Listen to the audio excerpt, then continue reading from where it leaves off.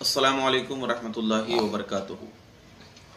قرآن مجید میں اللہ تبارک و تعالی نے ارشاد فرمایا، یا ایہا الذین آمنوا اطیعوا اللہ و اطیعوا الرسول و اولی الامر منکم۔ اے ایمان والو، اللہ کی اطاعت کرو، رسول اللہ صلی اللہ علیہ وسلم کا حکم مانو۔ اور جو تم میں زیادہ علم والے ہیں، حکمت والے ہیں، ان کی تقلید کرو۔ اس آیت کریمہ کی تفسیر میں، تفسیر ابن عباس میں فرمایا گیا کہ اول الامر سے مراد وہ لوگ ہیں جو اللہ رب العزت کی جو کلام ہے، کلام اللہ اللہ کا کلام ہے اور رسول اللہ کی احادیث میں غور و فکر کر کے جو اپنے آپ کو علم اور صاحب علم شمار کرتے ہیں، ان کی اطاعت بھی مسلمانوں پر، عام مسلمانوں پر واجب ہے۔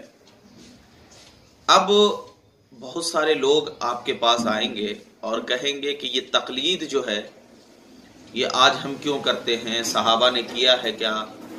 تابعین نے کیا ہے کیا؟ بہت سارے ہمارے نوجوان کو اس قسم کی دھوک بٹھا کر غلط سیدھی باتیں کیا ہے، ان کے سامنے پیش کرتے ہیں۔ میں آپ کے سامنے یہ صاف طور پر واضح کر دوں جو کہ میں آپ کے سامنے کچھ شواہد آپ کے سامنے پیش کر رہا ہوں۔ آپ خود ان چیزوں کو سن کر اور پڑھ کر جب میں آپ کے سامنے بیان کروں گا تو آپ خود فیصلہ کریں کہ ہم جو تقلید کرتے ہیں یہ واقعی غلط ہے یا صحیح ہے۔ عوام پہ میں چھوڑتا ہوں۔ میں کسی کو یہ نہیں کہوں گا کہ یہ اس نے غلط کہا ہے، اس نے فلاں یہ کہا ہے۔ نہیں، بل آپ کے سامنے کچھ شواہد پیش کر دوں تاکہ معلوم ہو جائے کہ یہ تقلید جو ہے، یہ ہم آج سے نہیں، بلکہ چودہ سو سالہ پرانی باتوں سے لے کر کے چلی آ رہی ہے یہ تقلید۔ آؤ سب سے پہلے میں اس تقلید کے حوالے سے کہ پہلی صدی ہجری میں، جو پہلی صدی سے شروعات کرتا ہوں میں اور آج سے چودہ سو سال ہو گئے، تو پہلی صدی ہجری سے لے کر کے آج تک صحابہ تابعین طب تابعین ام مشتحدین اور جتنے بھی بزرگان دین ہیں، وہ سب کے سب نے تقلید کی ہے۔ پہلی صدی میں، جس کو کہ امام بخاری نے، جلد نمبر ایک، صفحہ نمبر ٹو تھرٹی سیون میں حضرت اکرما رضی اللہ تعالی عنہ سے روایت کیا ہے۔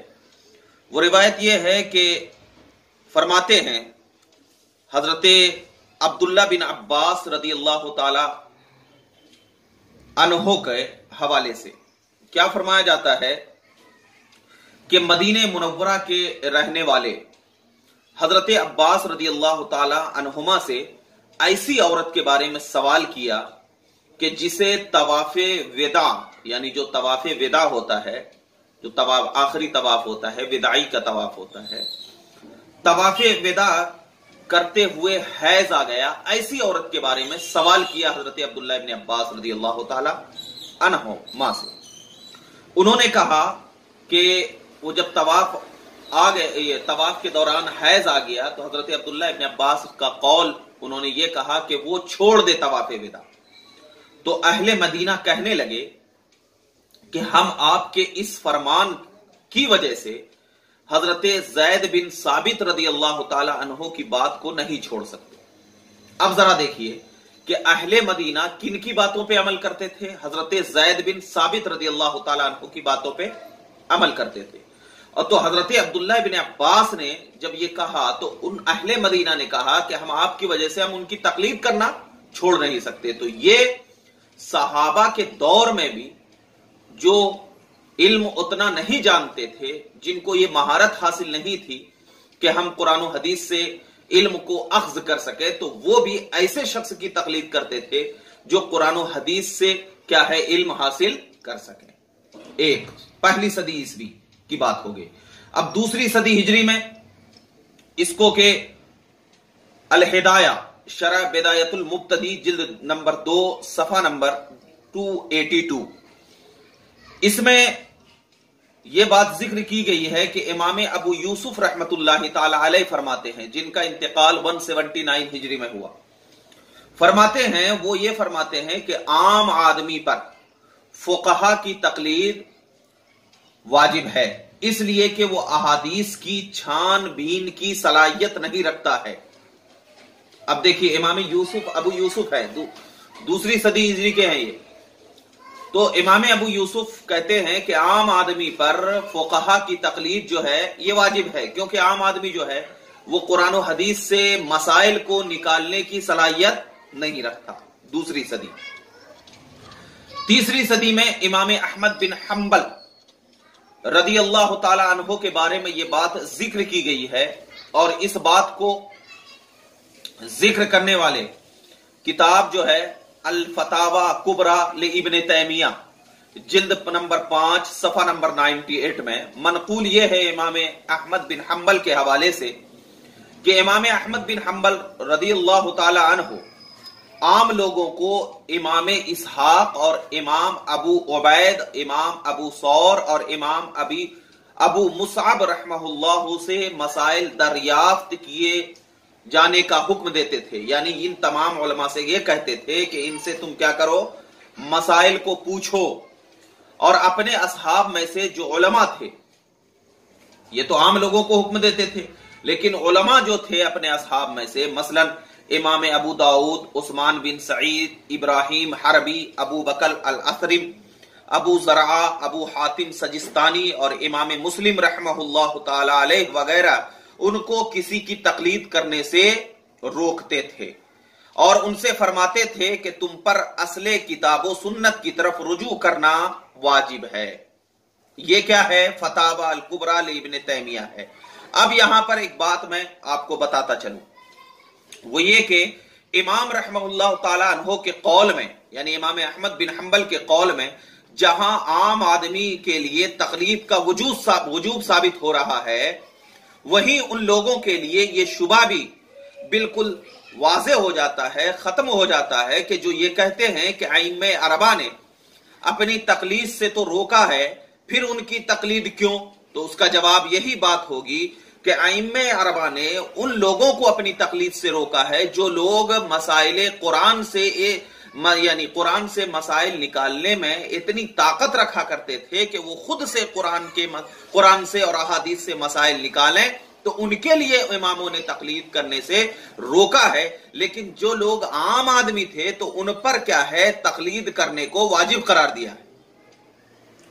تو اب جب واجب قرار دیا ہے تو عام آدمی جو ہے، ہم لوگ عام ہی ہیں۔ اب عام آدمی جو ہے وہ قرآن و حدیث سے کیسے مسائل نکالتا ہے؟ تو یہ بات کہہ کر کے لوگوں کو یہ کہنا کہ تقلید کیا ہے؟ ائم عربا نے روکا ہے۔ تو یہ کہنا یہ بالکل سراسر جہالت کی بات ہے۔ اگر ائم عربا کے قول کو آپ سمجھ لیتے تو پھر اس قسم کی تقلید کی، یہ تقلید کا انکار آپ کبھی نہیں کرتے۔ یہ تیسری صدی کی بات ہوئی۔ چوتھی صدی میں جس کو کہ چوتھی صدی کی یہ بات جو کہ امام ابو بکر جساس رحمت اللہ تعالی علیہ، جن کا انتقال تین سو سترہ ہجری میں ہوا، فرماتے ہیں۔ کیا فرماتے ہیں کہ آیت جو ہے عطی اللہ واطی الرسول و اول الامر منکم، اس آیت میں، اس بات پر یہ آیت دلالت کر رہی ہے کہ جو نئے پیش آمدہ مسائل میں قیاس اور اشتہاد پر عمل کرنا واجب ہے۔ یعنی کوئی ایسے مسائل جن کا ثبوت کیا ہے، قرآن و حدیث میں ہمیں واضح طور پر نہیں مل رہا ہے اور علماء نے اپنے اشتہاد اور قیاس سے کیا ہے ان مسائل کو لیا ہے۔ تو اب کیا ہے؟ قیاس اور کیا ہے؟ یہ قیاس مشتحد اور یعنی جو مسئلہ قیاس سے نکلا ہو اور ائم عربا کے اجماع سے نکلا ہو، تو اس مسئلے پر کیا ہے؟ ہم کو تقلید کرنا کیا ہے؟ واجب ہے۔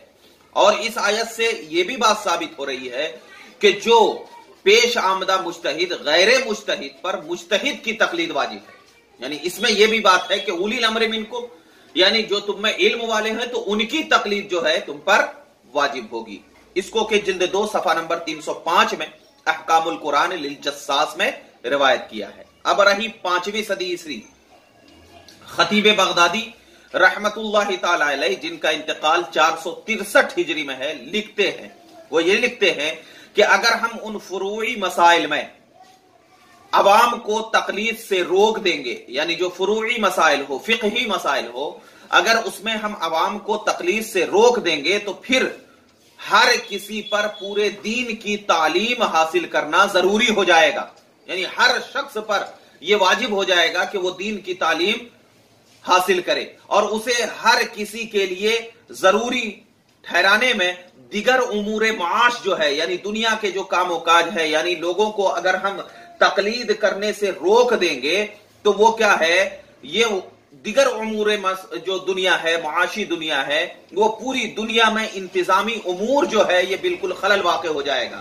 تو مطلب یہ ہے کہ تقلید کرنا اس لیے واجب قرار دے دیا گیا ورنہ سب لوگ کیا ہے قرآن و حدیث میں ہی کیا ہے غور کرنے لگیں گے اور پھر کیا ہو جائے گا؟ جو دنیاوی امور ہے، ان کے معاش ہے، اپنے اہل و عیال ہے، وہ ان تمام سے کیا ہے بالکل خلل واقع ہو جائے گا۔ تو اس لیے ان لوگوں کو صرف علماء جو ان امور دینی دینی میں وہ قرآن و حدیث سے عمل کر لیتے ہیں اور وہ مسائل کو پیش کر لیتے ہیں، تو یہ کچھ جو لوگ جو کم پڑھے لکھے رہتے ہیں اور ان کو یہ صلاحیت نہیں ہوتی ہے کہ وہ قرآن و حدیث سے مسائل نکالیں تو اسی وجہ سے کیا ہے؟ ان پر تقلید کو کیا کر دیا؟ واجب کر دیا تاکہ ان کے بھی امور دنیاوی کیا ہے؟ ان پر کوئی خلل واقع نہ ہو جائے۔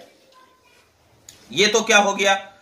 اب ایک چیز جو یہ ہے کہ پانچویں صدی عیسوی یعنی میں نے آپ کو پانچویں صدی عیسوی کی بھی بات بتا دی کہ تقلید کیا ہے؟ واجب تھی۔ اب رہی چھٹی صدی عیسوی میں امام غزالی رحمت اللہ تعالی علیہ، جن کا انتقال پانچ سو پانچ ہجری میں ہوا۔ وہ لکھتے یہ ہیں کہ دین کی بات عوام کے ذمے میں صرف یہ ہے کہ وہ ایمان لائیں عوام کے ذمے میں دین کی بات کیا ہے؟ صرف یہ ہے کہ وہ ایمان لائیں اور کیا ہے؟ اسلام قبول کرے۔ عبادت میں مشغول رہیں اور اپنے اپنے کاروبار میں لگے رہیں۔ یہ صرف امام، یہ عام لوگوں پر کیا ہے؟ ضروری ہے۔ علم اور تحقیق کے مسائل علماء کے لیے چھوڑ دیں۔ اور جب علماء کے لیے چھوڑ دیں، تو عوام اگر مسائل کی تحقیق میں پڑے گی اور فیصلہ خود کرنے لگے گی، جیسے کہ آج کچھ لوگ کرتے ہیں، لیتے ہیں اور اپنے تھوک جما دیتے ہیں کہ اس سے یہ، ان سے یہ، ان کو یہ نہیں معلوم ہوتا ہے کہ یہ حدیث کب، کس وقت، کس انداز میں آقا دو جہاں نے کہی، اس کے مقابلے میں کیا ہے؟ وہ بس پیش کر دیتے ہیں اور کہتے ہیں کہ ہم تو حدیث، اہل حدیث ہے ہم تو حدیث کو مانتے ہیں۔ تو یہ کیا ہو جائے گا؟ اگر اس طریقے کے قول یعنی اگر عوام کیا ہے اس میں پڑ جائے گی اور عوام اس میں بالکل یہ ہو جائے گی تو عوام کا اس میں پڑ جانا یہ کیا ہو جائے گی؟ ان کے معاشی زندگی کو کیا ہے بالکل نست و نابود کر دے گا۔ اور پھر کیا ہے؟ وہ دنیا ہی میں نہ چھوڑ کر کے بس اسی میں لگ جائیں گے اور پھر ان کے معاشی زندگی ختم ہو جائے گا۔ اسی لیے امام غزالی کہتے ہیں کہ ان کو صرف ایمان لانا ہے، اسلام قبول کرنا ہے، عبادت کرنا ہے اور فقہی مسائل میں جو علماء نے چھوڑ دیا ہے، قرآن و حدیث سے مسائل کو نکال کر بس ان علماء کے قول پر اعتماد کرتے ہوئے ان کی بات کو مان لینا ہے، یہی عام لوگوں کا نظریہ ہے اور عام لوگوں پر اسی لیے تقلید کو واجب قرار دیا۔ اب رہی ساتویں صدی عیسوی میں حضرت امام راضی رحمت اللہ تعالی علیہ فرماتے ہیں جن کا انتقال چھ سو چھ ہجری میں ہوا۔ وہ یہ فرماتے تفسیر کبیر جلد تین صفحہ نمبر تین سو بہتر میں کہ عام آدمی پر روز مرہ پیش آنے والے مسائل میں علماء کی تقلید کیا ہے؟ واجب ہے۔ یہ ساتویں صدی عیسوی کی ہجری کی بات کر رہا ہوں۔ اب آئیے۔ تو آپ یہ چیز بتائے کہ ساتویں صدی عیسوی میں اگر یہ جائز ہو، اگر یہ جائز ہو کہ ساتویں صدی عیسوی میں تو یہ بات بتا دی گئی، اور دوسری ساتویں صدی عیسوی میں امام نووی بھی فرماتے ہیں، چھ سو چھتر ہجری میں، ان کا انتقال ہے، وہ یہ فرماتے ہیں کہ اگر یہ جائز ہو کہ انسان جس فقہ کی پیروی کرے، تو بات یہاں تک پہنچے گی کہ وہ اپنے نفسانی خواہش کے مطابق تمام مذاہب کی آسانیاں اپنے اندر لے لے گا۔ جیسے کہ آج کل کچھ اہل حدیث آتے ہیں کہ جو ان کے مطلب کی حدیث ہوتی ہے نا، وہ لے لیتے ہیں اور باقی حدیث کو چھوڑ کر کے کیا کہتے ہیں؟ یہ ضعیف ہے۔ یہ صحیح نہیں ہے۔ اس کو امام بخاری نے یہ نہیں کیا۔ حالانکہ وہ بخاری بخاری کرتے ہیں۔ ان کو میں اتنا کہنا چاہتا ہوں کہ امام بخاری بھی تو مقلد تھے۔ تو تم ایک مقلد کی بات کو جب تقلید کرنے والا شخص گمراہ ہے تو تم ایک گمراہ کی بات کو جو انہوں نے کتاب میں لکھا ہے، تم ان کی بات کو کیوں لے رہے ہو؟ تو ایک طرف تو خود کہتے ہو کہ تقلید حرام ہے، تقلید واجب نہیں ہے، اور دوسری طرف تم ابن تیمیہ کی پیروی کرتے ہو، امام بخاری کی پیروی کرتے ہو، اور تمہارے گرو گنٹالوں کی پیروی کرتے ہو، تو یہ پیروی ہی تو تقلید ہے۔ انہوں نے تو قرآن و حدیث سے مسائل لکھا ان کی بات پر تم بھروسہ کر کر کے ان پر عمل کر رہے ہو، تو یہی تو تقلید ہے کہ امام اعظم کی ہم تقلید اس لیے کرتے ہیں کہ امام اعظم نے قرآن و حدیث سے مسائل کو نکال نکال لیا تو ان کے قول پر بھروسہ ہو گیا۔ کہ وہی حدیث انہوں نے صحیح پیش کیا ہوگا، اس حدیث کو امام اعظم کو مانتے ہوئے اس حدیث پر عمل کرتے ہیں اور یہی تقلید ہے۔ اب آؤ آٹھویں صدی عیسوی کی بات بتاتا چلوں۔ غیر مقلد کے یہ پسندیدہ عالم ہیں۔ انہوں نے اپنی کتاب فتابہ کبرا جلد تین، صفحہ نمبر دو سو چار میں لکھا ہے۔ کون پسندیدہ؟ امام ابن تیمیہ۔ الحرانی، جن کا انتقال سات سو اٹھائیس ہجری میں ہوا۔ وہ لکھتے ہیں کہ لوگ غرض و خواہش کے خاطر کسی وقت ایک امام کی تقلید کریں جو ایک عمل کو فاسد قرار دیتا ہو اور کسی وقت دوسرے امام کی تقلید کریں جو اسے صحیح قرار دیتا ہو، یہ اتفاق ائمہ کے نزدیک جائز نہیں۔ تو یعنی انہوں نے بھی اس عبارت سے یہ بات واضح کر دیا کہ اپنی نفسانی خواہش کے خاطر۔ اگر کسی ایک کی تقلید کر رہا ہو اور دوسری مرتبہ وہ کسی اپنی نفسانی کے خاطر دوسروں کی تقلید کر رہا ہو، یہ جائز نہیں ہے، بلکہ ان اس قول سے ان کا یہ مطلب واضح ہو رہا ہے کہ ہر صورت میں کسی ایک امام کی تقلید کرنا واجب ہے۔ یہ ان کے گرو گنٹال نے لکھا ہے۔ اب نویں صدی عیسوی میں امام ابن خلدن رحمت اللہ تعالی علیہ، مقدمہ ابن خلدن باب نمبر چھ، فصل نمبر سات، صفحہ نمبر پانچ سو چھیاسٹھ پہ یہ ذکر کرتے ہیں، کیا ذکر کرتے ہیں کہ جب مرتبہ اشتہاد تک پہنچا، پہنچنا رک گیا یعنی اشتہاد کے مرتبے تک کسی شخص کا پہنچنا کیا ہے؟ بالکل رک گیا ہو، اور اس کا بھی خطرہ تھا کہ اشتہاد نا اہلو اور ان لوگوں کے قبضے میں چلا جائے گا جن کی رائے اور دین ہر اعتماد دین پر اعتماد نہیں کیا جا سکتا۔ تو بڑے بڑے علماء نے اشتہاد سے عجز اور عجز کا کیا ہے کر دیا، اعلان کر دیا کہ ہم اس سے کیا ہے آجز ہو گئے ہیں اور لوگوں کو ان چار ائمہ کی تقلید پر لگا دیا۔ ہر شخص جس کی وہ تقلید کرتا ہے، اس کے ساتھ وہ رہے گا۔ تو اس سے بات یہ بھی واضح ہو گئی کہ ابن خلدن رحمت اللہ تعالی علیہ نے نویں صدی عیسوی میں، نویں صدی عیسوی میں اس بات کو واضح کر دیا کہ تقلید کیا ہے، ائمہ کی واجب ہے۔ اور ایک بات نویں صدی عیسوی کی علامہ ابن حمام الاسکندری رحمت اللہ تعالی علیہ، شرح فتح القدیر، کتاب و ادب القاضی، جلد ایک، صفحہ نمبر دو سو انتالیس میں لکھتے ہیں کہ اس قسم کے الزامات کہ انسان ایک مذہب کی پیروی کرے، اس لیے نہیں کہ وہ مختلف مذاہب سے، خواہش نفس کے مطابق آسانیاں تلاش کرنے سے باز رہیں۔ ایسا نہیں۔ کہ آپ مختلف مذاہب سے اگر کوئی آسانیاں مل رہی ہے تو بالکل لے سکتے ہیں۔ لیکن کیا ہے، کسی ایک کی ہی تقلید کیا ہے، بالکل واضح ہوگی۔ دسویں صدی عیسوی میں علامہ ابن نجیم حنفی رحمت اللہ تعالی علیہ، البحر الرائق، جلد نمبر چھ، صفحہ نمبر چار سو سینتالیس، چار سو اڑتالیس میں لکھتے ہیں کہ عام آدمی پر، ہر عام آدمی ہر مسئلے میں اپنے مشتحد کے قول پر عمل کرے گا۔ گیارہویں صدی عیسوی میں شارح بخاری علامہ علاء الدین رحمت اللہ تعالی علیہ، جن کا انتقال دس سو اٹھاسی ہجری میں ہوا ہے، وہ اپنی کتاب در مختار بحاشیہ شامی جلد نمبر ایک، صفحہ نمبر ایک سو چھتر اور ایک سو ستتر میں لکھتے ہیں۔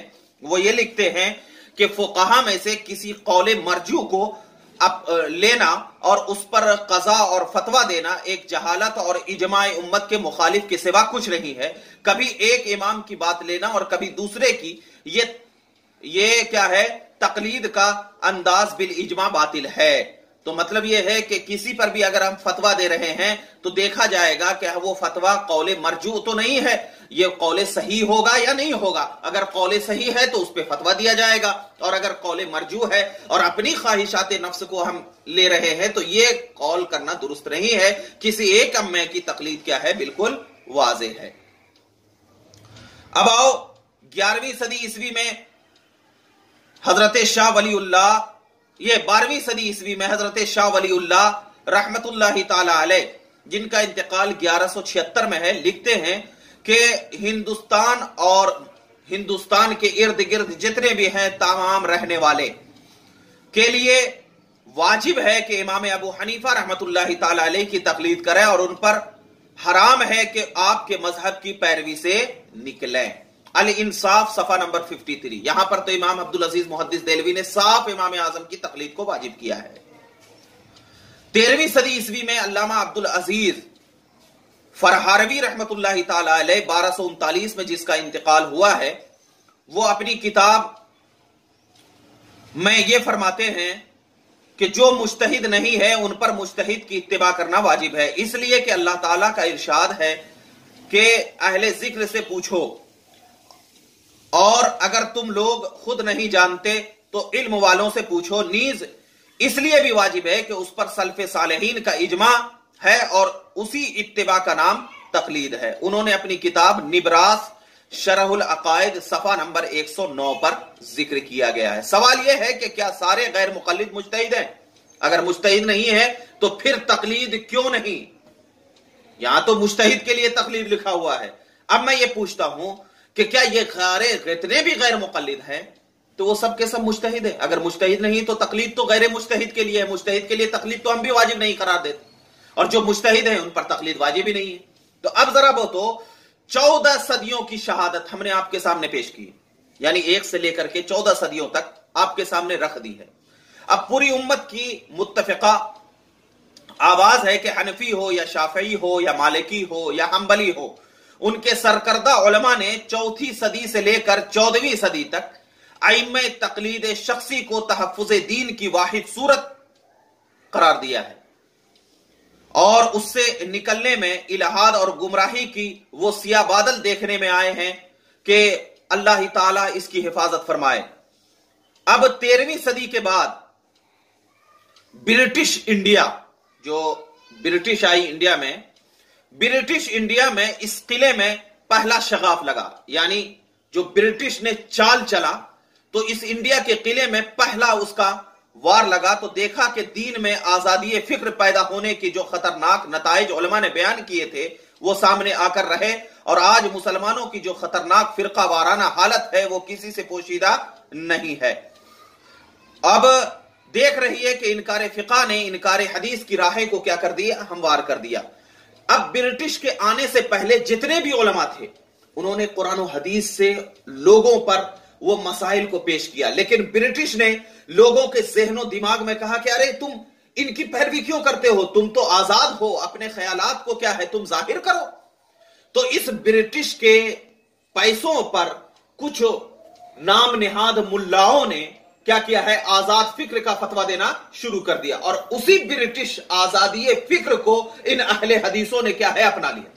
اور کہا کہ یار یہ سب تو غلط بات ہے، جو ہم کو اچھا لگے بس لے لو، اور جو برا لگے بس سے چھوڑ دو۔ اس لیے آج مسلمانوں کو غور و فکر کرنے کی ضرورت ہے کہ جو مسئلہ چودہ صدی سے ایک صدی سے لے کر کے چودہ صدی تک چلتے ہوئے آ رہا ہو اگر اس مسئلے کو لوگ کیا ہے غلط پیش کر کے کہیں کہ یہ غلط ہے، یہ حرام ہے، تو آپ فیصلہ کریں کہ کون غلط ہے۔ کیا اگر اس کو صحیح مان رہے ہیں تو اس کا مطلب یہ ہے کہ آج سے لے کر کے چودہ صدی تک صحابہ، ائمہ، تابعین طب تابعین، کیا ان لوگوں نے غلط کیا؟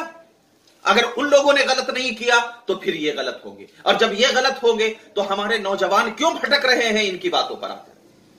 کیوں ان کی باتوں کو اپنا رہے ہیں؟ غور کرنے کا مقام ہے۔ اہل سنت جو تقلید کا حکم دیتے ہیں، یہ تقلید کسی گھر کی کھیتی کا نام نہیں ہے، بلکہ اس کا ثبوت جو میں نے آپ کے سامنے پیش کیا ہے، یہ ثبوت موجود ہے۔ اور جب ثبوت موجود ہے تو اس موجودہ ثبوت کی بنیاد پر ہم کو ان ان تمام چیزوں کو لے کر اپنانا، یہی کیا ہے، اسلام پر چلنے کا بہترین ذریعہ ہے۔ مسلمانوں، غور کرو کہ حق کون ہے اور باطل